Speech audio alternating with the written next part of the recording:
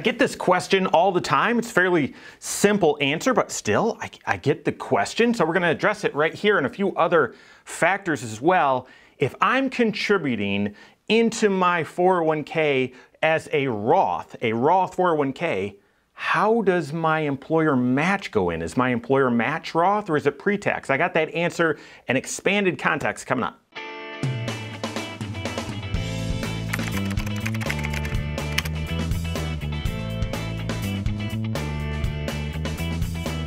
My name is Mike Bernard. I'm the host of the Wise Money Show. I'm also one of the certified financial planners right here at Korhorn Financial Group. Make sure you hit that subscribe button, turn on notifications, and smash that thumbs up button.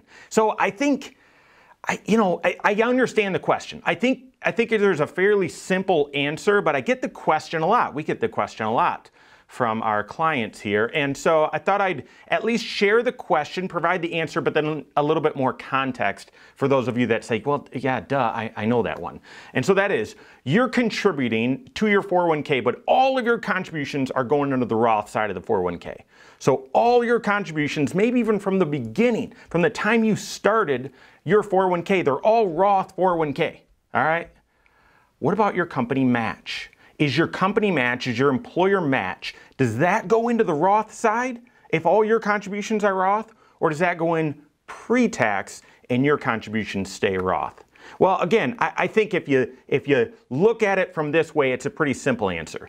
The Roth 401k, the benefit of the Roth 401k is your contributions that you put in there, they're not tax deductible. So you pay tax on that earnings. You earn income and you defer some of it into your Roth 401k, but you still pay tax on that income. It's not a deduction on your tax return. And then those dollars are invested inside of your Roth 401k. They grow tax deferred, and then in the future, if you're 59 and a half and eligible, you pull the dollars out, all that money, and it comes out tax free. The growth comes out tax free because you never deducted your contribution in the first place the, the uh, money that you put into the Roth 401k, that original contribution is not taxable when you take that out.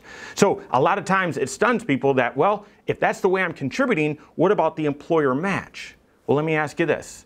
Have you ever paid tax on that employer match? No, you haven't. Therefore, that employer match cannot go into the Roth side of your 401k. It's got to go in pre-tax. That's right. No one's ever paid tax on that matching contribution. You might think, you might get so detailed and say, well, wait a second, maybe the employer match is Roth as well, and the employer doesn't get to deduct that on their profit and loss on their tax return. No, that's not how that works. The company match, the employer match, they're going to deduct that. The business is going to deduct that from their tax return. Therefore, that money's never been taxed. And now it's into your 401k and it's essentially pre-tax, meaning someone's got to pay the tax on that money in the future. So that's how that works. Your contributions, even if from the very beginning, if those were Roth 401k, the match is still pre-tax.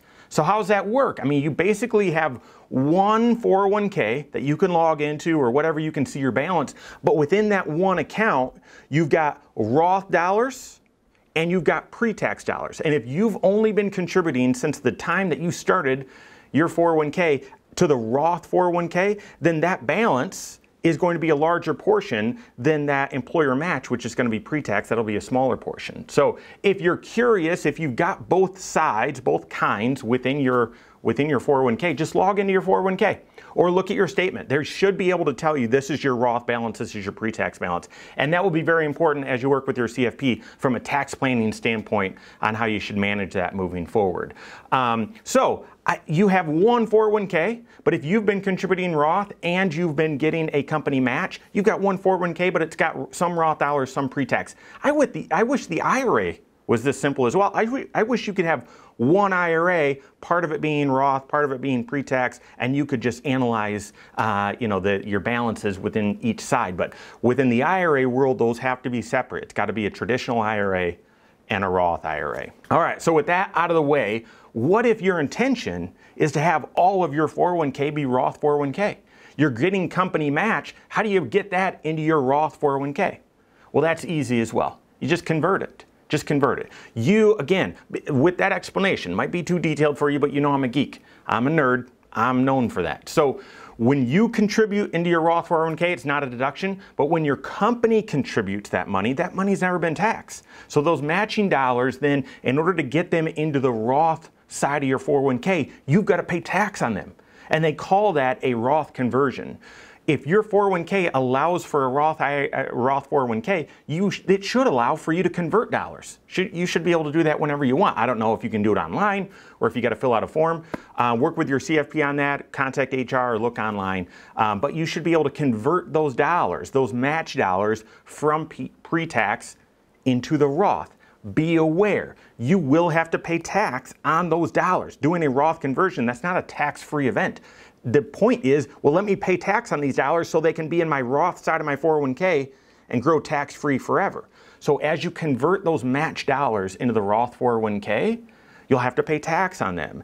And that might mean you don't have enough withholdings, okay? So that might create a tax surprise for you. Do some planning, some proactive tax planning with your CPA, with your certified financial planner, because you might say, well, I'll just withhold taxes on that. Well, if you withhold taxes on a Roth conversion and you're not yet age 59 and a half, that money that you, you know, withheld is taxable, it's also penalized. Those withholdings actually came out of your 401k. That's a tax penalty, okay? So there are ways around it. Maybe you've got some tax credits already built up. You're used to getting a refund, therefore you can convert your company match, your employer match from the pre-tax side into the Roth side, and it just eats into your refund a little bit. Great, wonderful, but do some tax planning with your CFP and with your CPA before you take any action there. And then finally, what if you don't want to convert those dollars along the way? Because you, maybe you're in your earnings years and you don't want to add additional income at this tax bracket uh, at that stage in your life. Well, then whenever you leave that employer or when you retire, within that one 401k, like I said, you're going to have lots of Roth dollars, Roth 401k dollars, and you're going to have some pre-tax dollars. When you sever employment, when you leave employment, when you retire, and you roll over your 401k, the Roth contributions that you made and the investment earnings on those Roth contributions. You, your, your 401k, your third party administrator has been tracking all of that, all right? Your contributions to the Roth 401k and the earnings on those contributions will all get rolled over, transferred to a Roth IRA. Tax free, no penalty, no issue. It'll go automatically there. And then it'll be in a Roth IRA, continue to grow tax free until whenever you take it out and you pull that money out and you don't have to pay tax on it as long as you're eligible, okay? But then that employer contribution side, that pre-tax side, plus all the earnings from that pre-tax side will go will be transferred or rolled over to a traditional IRA, okay? And it's at that point when you retire or whatever that you can say, okay, well I, I need to start supplementing my Social Security or I need to withdraw some money. Should I withdraw, withdraw it out of my Roth and not pay any tax? Or should I withdraw it out of the pre-tax side, which is my IRA now, your traditional IRA, and pay the tax on it then. You then have the ability to also do a, a Roth conversion from your IRA dollars into your Roth dollars. Once again, it's still taxable, okay, but maybe you're 59 and a half by then and you can withhold taxes without incurring a penalty. So, the big idea with this, I, it, I think it's an innocent question, but it is a simple answer that if you're contributing to a Roth 401k, if you have a Roth 401k, the matching contributions, are those Roth or are those pre-tax?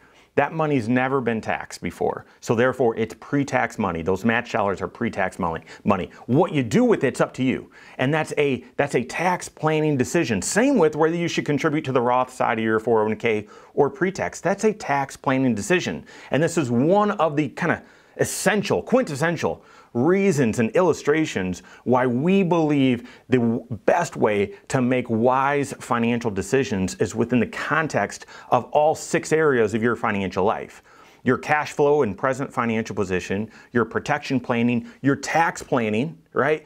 Investment planning, retirement planning, and then estate planning. Deciding whether to contribute pre-tax or Roth, and then any company match dollars that are pre-tax, whether you convert them now or convert them later or just leave them pre-tax, those are all tax planning decisions, but they impact your tax or your cash flow, excuse me, obviously impact your taxes, they impact how you invest the dollars, impacts your retirement, it impacts your estate plan because if you don't use these dollars, they're going to pass on to the next generation, and in a way that also influences your protection mitigation plan, how much, how much risk you're exposed to. So this one decision and kind of fringe additional decisions impacts all six areas of your financial life. So work with your certified financial planner. Simple question, maybe simple answer, maybe an automatic thing that you've just been doing. Work with your CFP. Make sure you're taking the right approach. If you don't have a CFP on your team, you can contact one on my team. Find us online, korhorn.com. That's Korhorn with K. WiseMoneyShow.com. You can find us there as well, or just give us a call 574 247 5898. All right, there you have it. Go out and take your next wise step in your financial life.